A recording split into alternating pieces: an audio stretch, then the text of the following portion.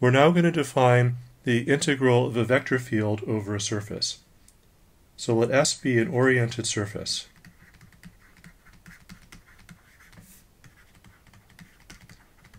And the fact that S is oriented means that it has a chosen unit normal vector at each point.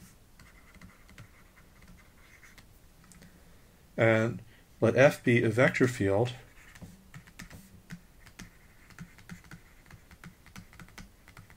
which is defined, it's a three-dimensional vector field defined on a domain that includes S. And then we define the double integral over S of f dot ds. So this is the integral of the vector field f over the surface.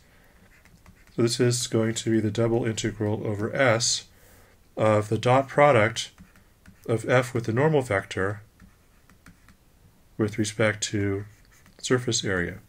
Okay, so in these formulas, so this is a vector field. Well, once I dot product it with the normal vector, this is a function. And this is the element of surface area.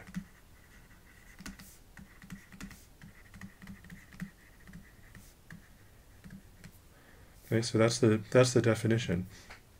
Um, the physical interpretation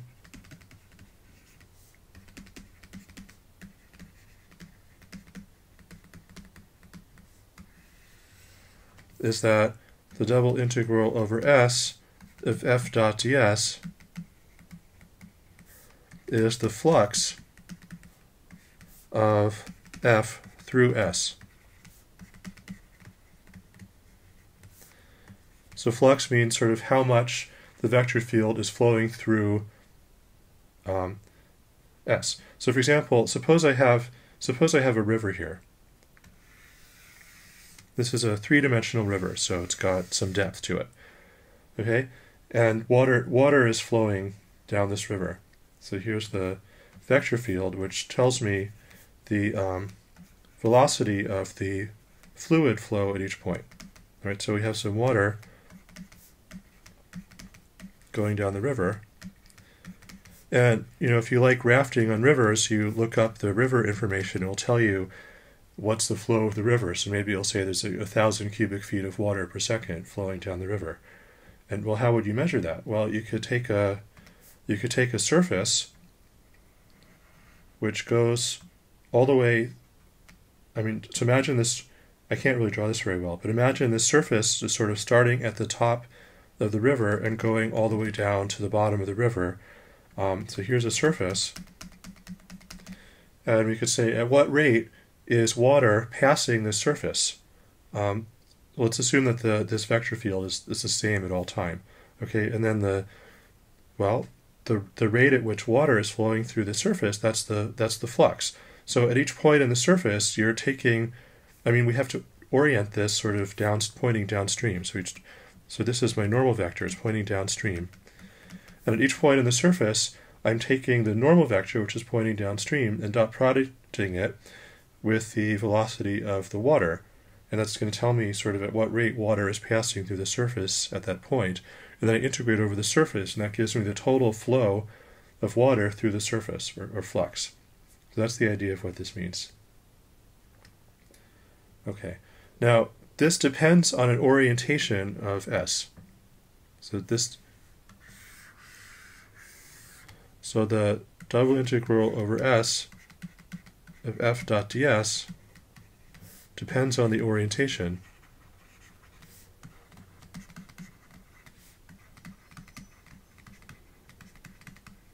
And why is that? Well, the opposite orientation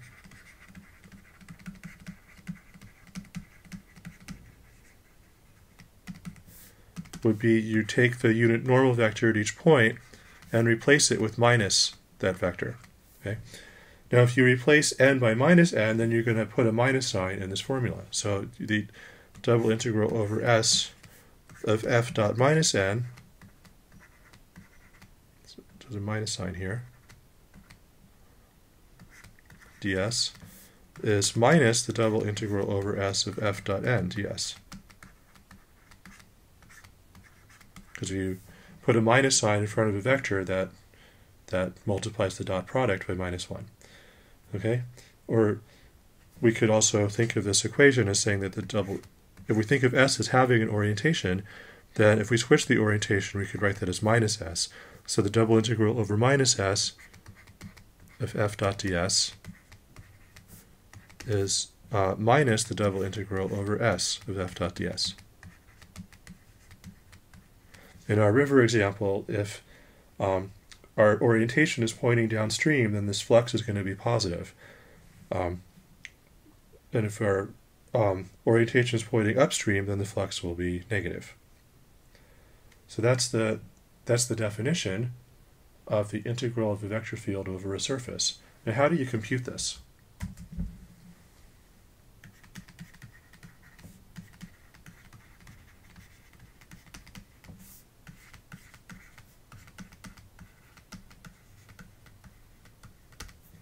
Well, you need an orientation, you need a parameterization. So you can, well, let's first note that if you have a parameterization, and let's say it's a smooth parameterization,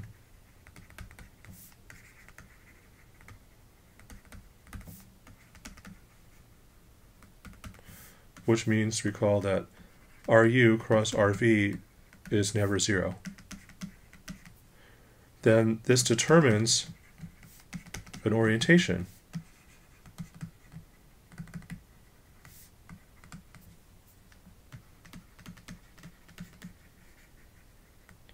Because remember that RU cross RV is normal to the tangent plane. So in particular, this is a normal vector to the surface. So I can make an orientation just by normalizing this to have length 1. So I could take my orientation to be n, equals RU cross RV divided by the length of RU cross RV. And this is well defined by our assumption that RU cross RV is never zero. Okay, so here are the steps. Oh, okay, well, so let's say we um, use this orientation. So with this orientation,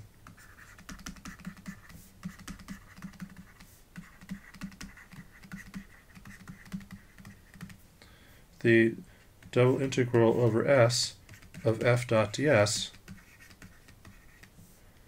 is the double integral over s of f dot um, ru cross rv over the length of ru cross rv with respect to surface area. Now, how do we evaluate integral with respect to surface area? Well, we use the parameterization. I need a name for the domain here. So let's call the domain D in the UV plane.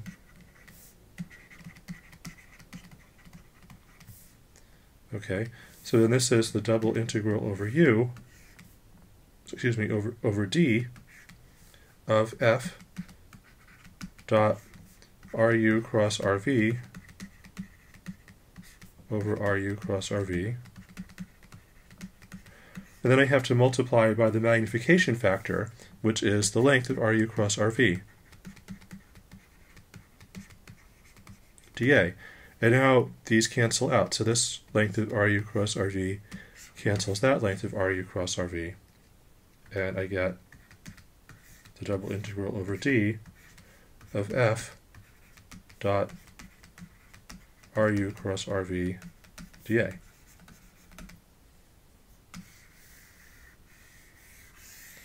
Okay, so now there, there are three steps to um, calculating this integral. So the three steps are the three steps to compute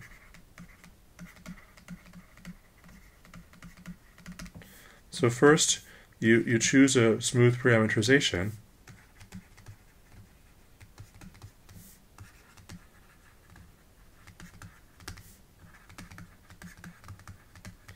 And second, you need to check that you get the right orientation.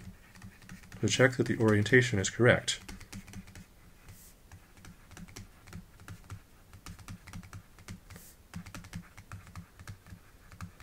Otherwise, you're going to get minus the correct answer when you evaluate the integral. Uh, and then third, once you have this um, smooth parameterization giving the correct orientation, then you just evaluate this integral over the, the domain, which is this integral right here. So that's how you that's how you compute this. We'll do an example in the next lecture segment.